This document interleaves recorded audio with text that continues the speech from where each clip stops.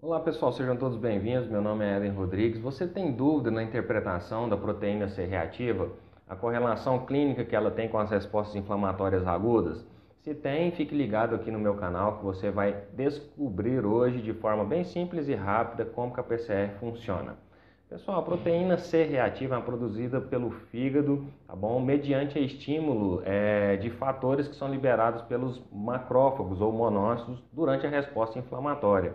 Mas veja bem, como que isso funciona? A resposta inflamatória, é, ela começa no processo em que um agente infeccioso, é, o antígeno entrou em contato com você e aí os neutrófilos são né, as primeiras células de defesa que começam a fagocitar ou tentar eliminar esse antígeno, esse agente infeccioso. Então ali gera uma resposta inflamatória mediada por células fagocitose, é, que, é, que é feita pelos neutrófilos e também os monócitos. Né? Eles chegam também para auxiliar né, esse processo de fagocitose dos neutrófilos e só porque além da fagocitose, os monócitos também liberam esses fatores que estimulam o fígado a produzir proteína C reativa.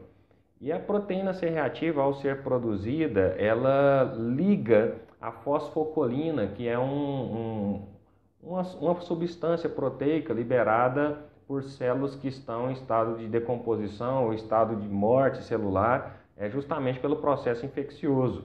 Né? E isso vale tanto para os micro-organismos quanto também para as células é, que estão ali sendo né, lesionadas pelo processo infeccioso.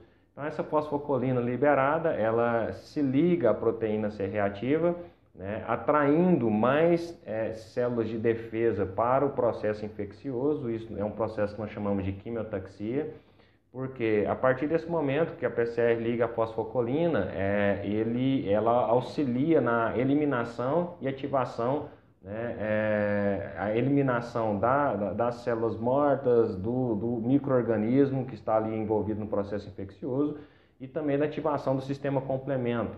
Né? O sistema complemento, como o próprio nome diz, ele complementa as respostas é, é inflamatórias e aí eu tenho um upgrade da resposta inflamatória e isto é, auxilia no processo de eliminação desta inflamação é, aguda.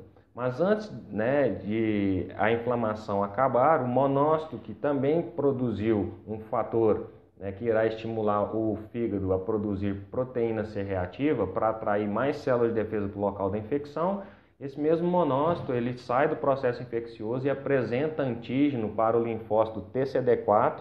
O linfócito TCD4 é uma célula é, responsável por auxiliar a, a, o linfócito B a produzir anticorpos. Então, ao monócito apresentar o antígeno para o linfócito TCD4, ocorre a ativação do linfócito TCD4. O linfócito TCD4, né, mediando é, interleucinas e citocinas, é, ativa o linfócito B por uma nova é, apresentação de antígeno, o linfócito B, então, ele produz anticorpo contra esse processo infeccioso, contra esse microorganismo, libera os anticorpos, cerca de 3 trilhões de anticorpos da classe IgM são produzidos após essa ativação, e, e aí ele começa, então, a neutralizar também o antígeno, opsonizar o antígeno, né, favorecendo a eliminação aí do processo infeccioso. Então, de um lado vem anticorpos, de outro vem proteína C reativa e de outro vem as células monocitárias fagocitando e limpando toda a bagunça que foi feita ali, e aí sim o organismo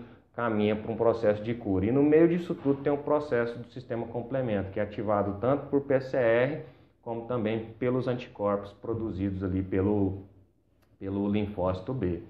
Ah, agora eu entendi! Agora eu saquei! Agora todas as peças se encaixaram!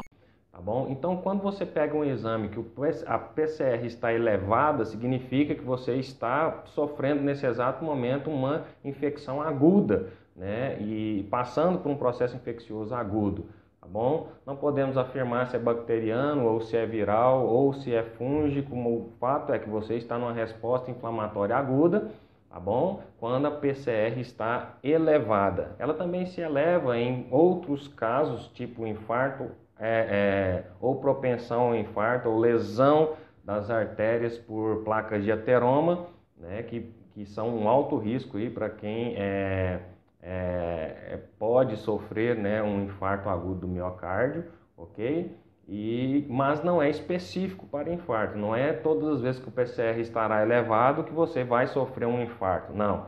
Ela também se eleva nessas situações, mas como eu falei, ela também está ligada a processos infecciosos e principalmente esses processos infecciosos elevam bastante a proteína C reativa. Então, clinicamente, como que nós utilizamos ela? Quando você está diante de uma PCR elevada, você está diante de um processo infeccioso, o processo infeccioso né, vai ser tratado e à medida que o tratamento responde né, a, a, para a cura, a, a PCR vai baixando. Então, ela funciona como excelente indicador não somente né, do processo infeccioso agudo, mas também como excelente indicador de que o tratamento está ou não surtindo efeito, tá bom? Então, de uma forma bem resumida, como seria o PCR e as suas aplicações. Ok, pessoal? Espero que vocês tenham gostado desse café biomédico. Um grande abraço, fiquem todos com Deus. Não se esqueça de inscrever no canal, deixar o seu like e participar das nossas redes sociais, nosso Instagram, tá bom? Residente Biomédico Oficial. Grande abraço, fiquem todos com Deus. Até a próxima, pessoal.